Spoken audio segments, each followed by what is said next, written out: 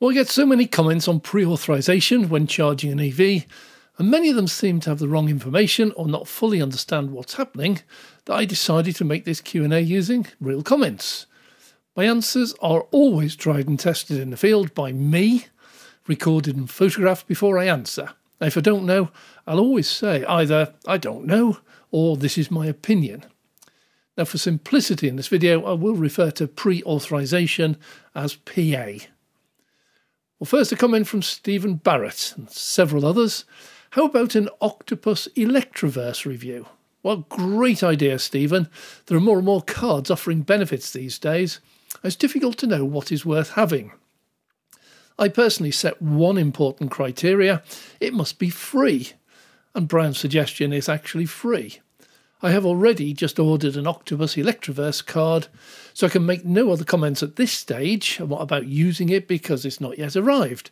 But it does seem to offer worthwhile benefits. Uh, one point charging, no contactless. The app has my chosen payment method, so I don't need to use any other cards. The app can find charges for me if I enter my card details, only offers those that are compatible. It also shows which charges you can control from the app directly. Well, it all looks good, but the trial will tell all. Watch out for that video. Well, several of you have stated to use a credit card as it will not pre-authorise. Sorry, that's just wrong. It does, PA, as the screenshots show clearly. But Andrew and Keith are spot on. They suggest using a credit card as it has far better regulations built in. That's absolutely correct. And Andrew commented to use a credit card as it only pays the credit, the credit that you have, not actual money in your account. Might be a good idea to see if you can get a credit card, even if the interest rate is high, clear it off at the end of the month, and the PA amounts don't matter even if they linger for several weeks. Several viewers suggested that I had had a good experience with all PA releasing within seconds because I was charging in business hours. Well, it's never occurred to me at the time while charging, but it is a very valid point. So, as usual, I got in my car and tried it out. 7 pm at Darwen Services on the M65. Ionity 350 kilowatt charger and GridServe 50 kilowatt chargers, both PA released immediately. So, no, it's not down to time. Brian Ohm28H said chargers should use a simply contactless reader and it wouldn't happen. But during my charging, I just had to go and get a quick McDonald's snack, use the contactless, and the correct amount dropped immediately into my pending payment file. I do check nowadays. It took two days to clear in the end. Well, it's no problem.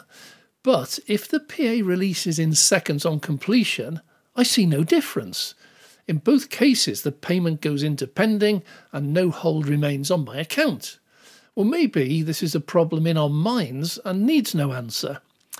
Unless I had checked my banking app while actually charging, I would never have seen these fleeting PA amounts at all, just the final pending cost. Well, numerous people have told me about holds lasting weeks or days. The law's quite clear on this. If you've completed the transaction, the PA must be released. If it isn't, then ring the bank. They have a legal duty to cancel any payments that you request for a genuine reason, for example, a suspected fraudulent transaction, an ent entry that you simply do not recognise, a direct debit for an incorrect amount, or a charge that is invalid. Please ring your bank I have spoken to Barclays, Halifax, and Santander banks and Barclaycard help desk, and they all said exactly the same. Check your app, call us if you're not happy. Still on the subject of lengthy holds, in my trials, every single PA hold was released but was accompanied with a release date. Most appear to be around eight days. This means that the hold will or should disappear on or immediately after that date, whatever else happens. So, weeks or months of waiting suggests one or two things. Either the transaction has failed and needs to be removed via a phone call, or the company operating that account has a policy or practice that allows or encourages this practice. So, in the latter case, just stop using them. As always, I welcome your comments. They provide me with a snapshot of what you experience out on the road day to day. I can only cover a limited number of charges, no matter how hard I try, so your comments are vital. Please subscribe so you can be notified when each new video is released. I suspect this subject is an ongoing issue with new data arriving all the time. Well, with a mass of comments from people having problems, I remain totally surprised that I haven't yet had a single problem, and I have actually gone out searching for one. Are these comments up to date? Could it be they happened years ago and just linger on in your thoughts? I would welcome actual examples of these problems, and I'll try to go there and try for myself. I have used brand new and older chargers with multiple networks at different times of the day and the week. Every single one has worked fine for me.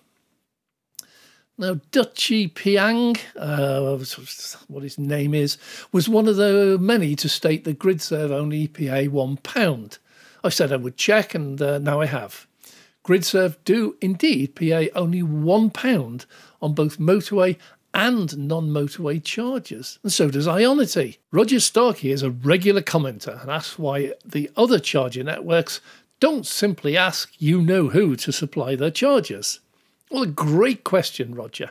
Still waiting for an answer, but I suspect it comes down to money and profit, i.e., they make no money at all offering terrific, reliable chargers at rock bottom prices. Unless any of you know any different. Old Man Tony comments about those who protest against charges at 79 pence per kilowatt hour. Now, I'm not going to tackle prices in this video, but we'll be launching a new video specifically on this subject very soon. As a quick reply, though, Tony states that if you can charge at home at ridiculously cheap overnight rates, then an occasional on the road session at five times the price makes little difference to the cost of running an EV over an entire year. I agree with your comment and your answer, Tony. A special mention for Box Full of Neutrals 8514. See, a whole video without mentioning We want to thank you for watching along as Dave takes it on. And if you like what we do, all we ask of you is to click that like and subscribe to follow along. Well, that's it for now. With all the driving and charging, yes, I am one of those who deliberately pays 79p when 20 feet away is a supercharger for 24p. I really would welcome financial support. Patreon offers you the chance to support me financially for just a few pound a month, and that will allow me to travel further afield and more often. Details of that down below. Also, a big thank you to Jonas, my oldest son. He not only assists me with filming occasionally, video editing and the branding, like thumbnails, but also is a talented musician. He edits a lot of my audio, and it is he who recently wrote the short song I use as the outro for my channel now. He also reads those comments, so let him know if you like his efforts. Thanks for watching. I'm Dave.